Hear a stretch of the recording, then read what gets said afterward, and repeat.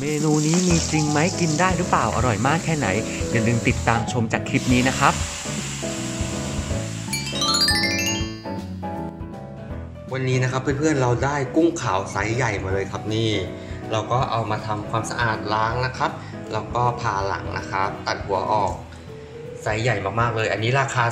260 บาทต่อกิโลนะครับ ได้มา 25 ตัวนะครับ ตัวใหญ่มากๆเลยทุกคน นี่นี่มีมันที่หัว ค่อนข้างเยอะด้วย และนี่ก็คือเครื่องสมุนไพรในการทำน้ำราดของเราครับ จะประกอบไปด้วยกระชายพริก รากผักชี กระเทียมซอยครับ นี่แล้วก็มีใบมะกรูดเอาไว้โรยหน้าด้วย เรานะครับก็จะนำกระชาย รากผักชี พริกแล้วก็กระเทียมครับพริกนี่จะประกอบไปด้วยพริกเหลืองแล้วก็พริกขี้หนูนะครับ เราก็เอาใส่โถปั่นแบบนี้เลย ใส่ลงไปให้หมดเลยนะครับ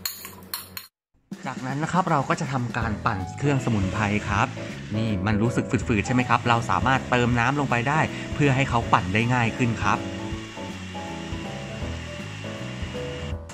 ขั้นตอนต่อมานะครับ เราก็เทน้ำมันลงกระทะ แล้วก็ตั้งไฟให้น้ำมันร้อนจัดๆเลยครับ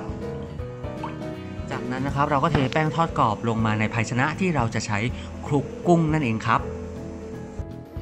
และเรานะครับก็นำกุ้งเนี่ยลงมาคลุกเคล้ากับแป้งครับ นี่ก็จะได้เป็นหน้าตาแบบนี้แล้วเราก็นำลงไปทอดเลยครับ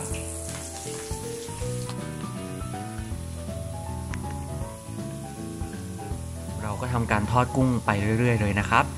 ลักษณะกุ้งที่เราอยากได้ในวันนี้นะครับ คือเปลือกเนี่ยสามารถกรอบแล้วก็รับประทานได้เลยนะครับ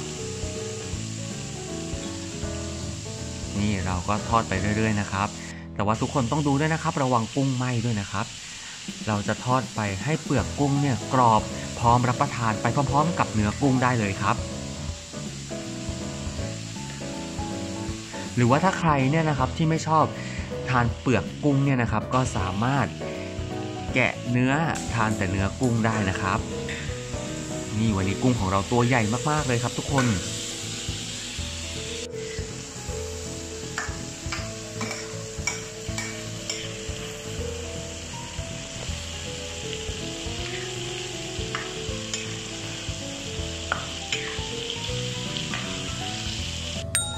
และนี่ก็คือหน้าตาของแม่ครัวประจำของเราครับกำลังยืนทอดกุ้งอย่างหน้ามันมาก ๆ เลยแหละครับ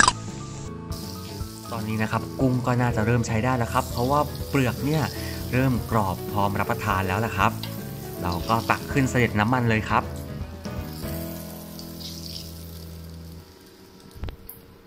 จากนั้นนะครับเราจะมาทำซอสราดกันครับ เราก็ตั้งกระทะให้ร้อนนะครับ แล้วก็ใส่เครื่องสมุนไพรที่เราปั่นไว้เมื่อสักครู่นี้เทลงไปได้เลยครับ นี่เราจะทำการเคี่ยวสมุนไพรไปเรื่อยๆนะครับ เราก็จะเติมน้ำลงไปเล็กน้อยนะครับ เราจะเคี่ยวเขาไปเรื่อยๆ จนกว่าเขาจะมีกลิ่นหอมเตะจมูกขึ้นมานะครับ แต่ผมคิดว่าเพื่อนๆเนี่ยน่าจะฉุนมากกว่านะครับ เพราะว่าผมเนี่ยจามไปหลายรอบแล้วนะครับ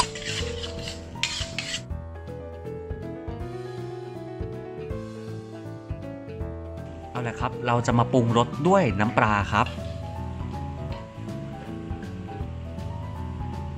ตามด้วยน้ำตาลปี๊บครับ ขั้นตอนนี้นะครับทุกคนสามารถปรุงรสได้ตามใจชอบเลยนะครับ ใครชอบกินรสหวานรสเค็มอะไรเนี่ย ก็ค่อยๆใส่ค่อย ๆ ปรุงดูนะครับ